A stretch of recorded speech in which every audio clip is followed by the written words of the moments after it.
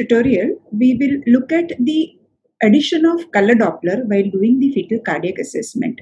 Is it a value addition tool? And if it is, then how do we use it and why do we use it while doing the fetal cardiac assessment? So fetal cardiac assessment can be a part of anomaly scan. It can be a dedicated fetal echo so the guidelines, there are different guidelines uh, according to if you're doing it as a cardiac screening or if you're do doing it as a part of dedicated fetal echo. So as a part of dedicated fetal echo, all the guidelines will say that use of color Doppler is mandatory. But as a part of 18 to 20 weeks obstetric scan, the guidelines have not implemented the use of color Doppler. They say that only if the cardiac anomaly is suspected, then you can use the color Doppler as an additional tool. So, is it helpful then to use it as an adjunct in all the low risk population patients? It's a dilemma. What is the scenario in India? What is our goal? Is it giving a precise diagnosis of a cardiac anomaly or is it just spotting a cardiac anomaly and referring these patients elsewhere? There are different sets of rules in different parts of India where you are practicing. Uh, it depends on if uh, the facilities for a dedicated fetal echo is available or not. Uh, facilities for the tertiary care units dealing with measure CHD is available or not. So, if you are doing a fetal cardiac screening, an unbalanced four chamber view, or a common AV valve, or an abnormal position of the heart, these are the findings which are mainly related to a grayscale imaging.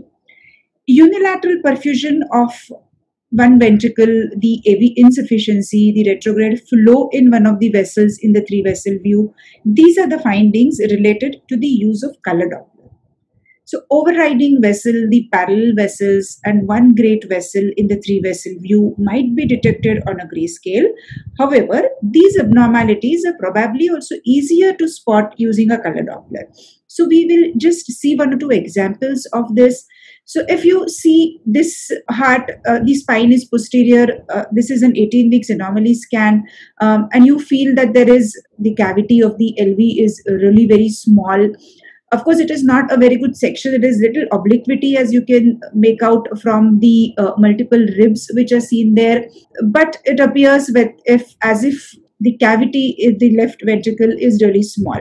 But then if you are trying to see on color doppler the three vessel view it shows a forward flow in the aorta as you can see here so you are wondering whether LALV is small, so whether it is hypoplastic.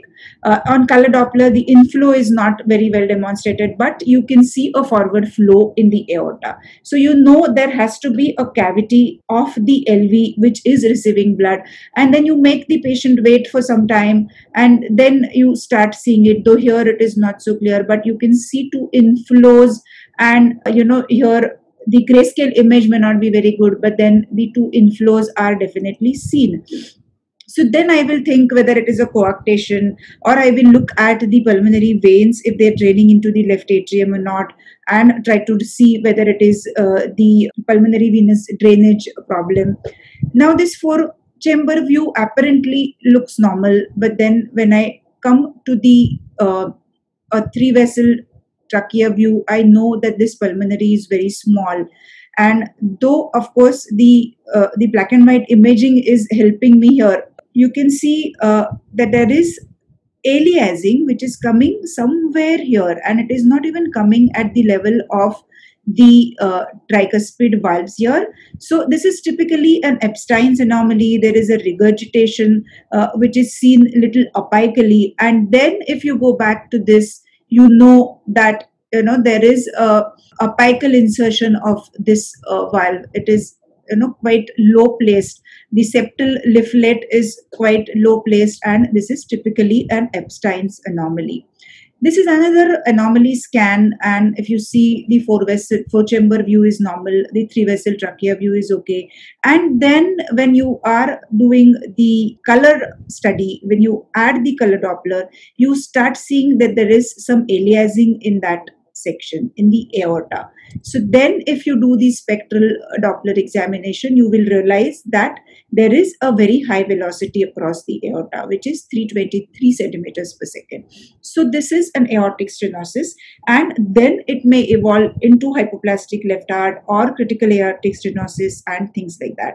Then of course there are certain anomalies like ARSA, the aberrant right subclavian artery or the vascular rings which are better demonstrated on the color Doppler, on the use of color Doppler.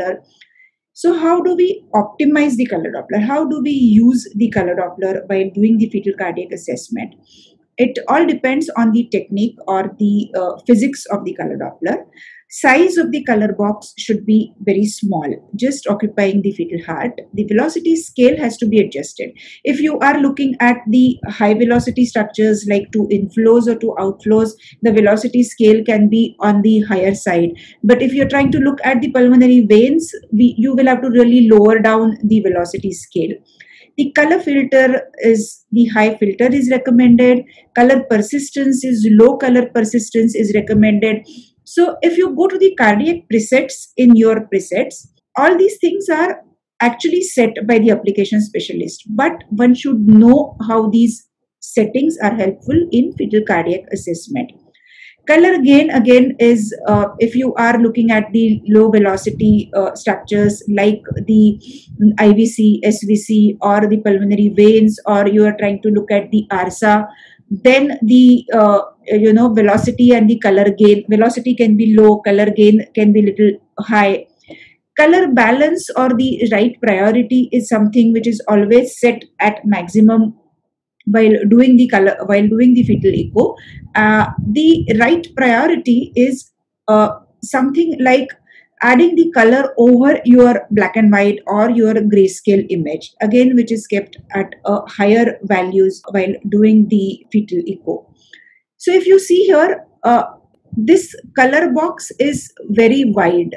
You know you don't really need so much of the information here. And what it causes is drop in the uh, frame rate because this is too much of an area of the uh, color frame uh, if you narrow the color box, look at the frame rate. It has improved. It has become 24 hertz, and the overall uh, the frame rate and overall sharpness or crispness of the image will increase. Now here the velocity scale is very low, uh, and that's why the color is bleeding. If you increase the velocity scale, you are seeing the better color filling, but still the septum is not really very well defined. There is still some bleeding here. So then, if you adjust it still higher, now you will see see only the ventricular cavity is filled. Now, if you make it still higher, what happens is you will not really see the color filling the entire ventricular cavity. Then even that is also not very good. So then again, you to make the adjustments depending on which structure you're seeing. And then once you see that, you can see both the inflows and uh, uh both the outflows, the LVOT, the RVOT. In fact, you can see the SVC color and in fact the azygous vein which is coming here like this. So all these structures are optimally visualized, both inflows, both outflows, the three vessel trachea view, and everything is seen very well. So when you use color Doppler in fetal echo, again, it is the same way how you do in your black and white imaging. You use it as a four chamber view at the outflow tracks, the three vessel trachea view, and for the demonstration of aortic and the ductal arches. So this will be the two inflows. This is the LVOT. This is the RVOT. This is a three vessel trachea view. The SVC will be, the color will be in red in the opposite direction. Uh, when your velocity scale is little high to see these other cardiac structures, the SVC will not pick up the color. You will have to lower your PRF or the velocity scale to see that. Then this is the ductal arch, the wider arc, and this is the aortic arch, you will see the three branching vessels also arising from the aortic arch. Then, if you are trying to see the pulmonary veins, as I said, you will have to lower the PRF. Showing two pulmonary veins is mandatory. In fact, you're seeing here both the pulmonary veins on uh, the left side and one on the right side. This is the uh, video of that, and you can see the pulmonary veins filling up there. One basic principle, what you need to remember is that to see the color, the color direction has to be parallel to your ultrasound beam. This is your ultrasound beam, which is coming like this. And that's why when the flow, it is the pulmonary veins are going in this direction, like this vertically. So they will be picked up better on this section as they're parallel to the insonation uh, of the ultrasound beam. So, what is the clinical usefulness of the uh, uh, doing the color Doppler? It gives you the blood flow information, the flow across the valves, the smaller structures like narrow pulmonary artery or shunt across the VSDs. It gives you the direction of the blood flow, especially in a three vessel trachea view. If it's an antegrade or retrograde flow, uh, it can detect some unexpected blood flow events like regurgitation, uh, a turbulent flow across the aorta, like we saw uh, in our previous case, or it may be in the pulmonary artery, or it may be just a ventricular coronary fistulas, which will be seen in certain conditions like uh, intact ventricular septum. And then, when you're wondering what this condition is, if you put the color on and if you see these fistulas, uh, your diagnosis gets strengthened uh, by that the demonstration of smaller vessels, uh, the pulmonary veins, the abnormal vessels like MAPCAs, uh, the LSVC or dilated azygous vein or the ARSA. So all these structures will be seen while using only the color Doppler.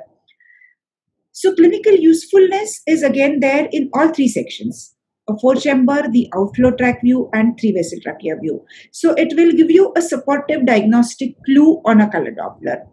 So we will see uh, on these different sections what are the clues on color Doppler and what is the diagnosis in these conditions.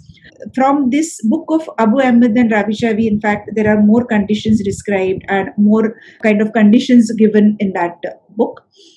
So if you have a color flow sign and a possible cardiac defect. So in four chamber view, if you see two inflows with small connection across the septum, it is a ventricular septal defect. If you see two inflows with discrepant ventricular width, most of the times, commonly it is coarctation of aorta. If you rule that out, then maybe some other conditions, and then you start looking for that. Two AV valves are draining into one ventricle, or if you see only one inflow, it is either double inlet ventricle or it may be a univentricle. If you see one common AV valve or a Y-shaped kind of the inflow, it is in the AVSD, that is atrioventricular septal defects. If you see only right-sided inflow, it is hypoplastic left heart or mitral atresia. If you see only left-sided inflow, then it is tricuspid atresia or a PAIVS. So now if you come to the outflow tracts and use a color Doppler to see any abnormalities, if you see a turbulent flow across the aortic valve, in five chamber view, it is a valvular aortic stenosis. If you see no flow across the aortic valve, it is in the hypoplastic left heart syndrome. If you see VSD with overriding aortic root, then of course there is a big differential TOF or PAVSD or DORV or absent pulmonary valve syndrome or a common arterial trunk. If you see a large vessel arising from the left ventricle with VSD, again it is a CAT. If you come to a three vessel trachea view, then there are a lot of permutation combinations possible. It may be antegrade flow in the aorta and PA, but both these vessels are dilated and showing some turbulent flow it is because of the pulmonary stenosis. Same way, if you see it in the aorta, it is because of the aortic stenosis. If you see in a narrow pulmonary artery, then it is TOF or DORV or an Ebstein's anomaly. If you see narrow aortic arch, it is coarctation.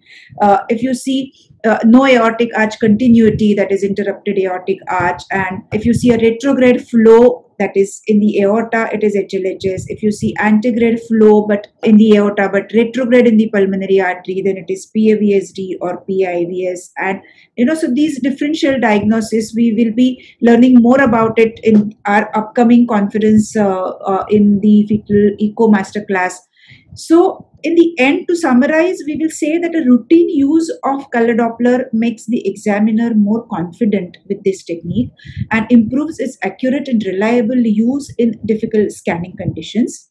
It also helps in, in fact, in obese patients uh, when you know your 2D imaging sometimes is not very good.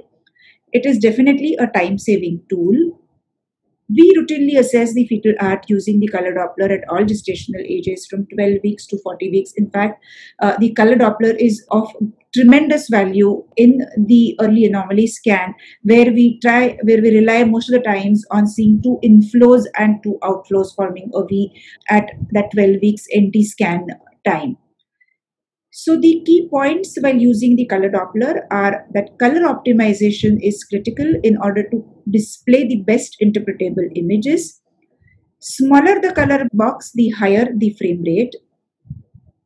The color presets for flow across the four measure valves, you have to have the high velocity scales, high filter, low gain, low color persistence. And the color presets for pulmonary veins or the smaller vessels, you to have a low PRF, low filter, uh, high gain, uh, or high persistence. And by and large, the inflows view and the 3VT view are the most informative planes while using a color Doppler uh, scan.